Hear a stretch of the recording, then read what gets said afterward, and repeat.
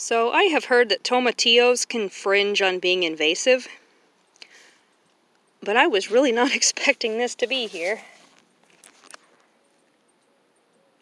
A couple years ago, I had some tomatillos here. But, I mean, that is a mess that I have to weed. There haven't been tomatillos over here uh, gosh, that was probably 2019 that I had those here. So, quite a while. Nothing last year.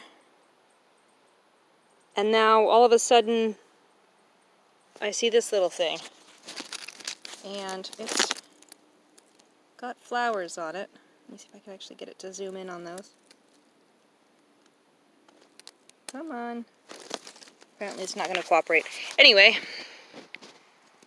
I spent a chunk of time out here yesterday destroying things, which is why there's duct tape here, and tearing out all of my strawberries,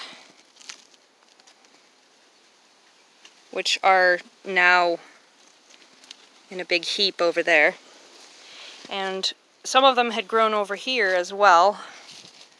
There's another pile in the fence. And while I was over here tearing out more, I found that poor little thing.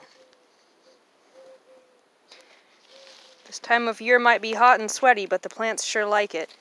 So, yeah, I mean, I think I'll keep it. My grandma says a weed is anything she didn't plant where it is. Sometimes that's a nice thing.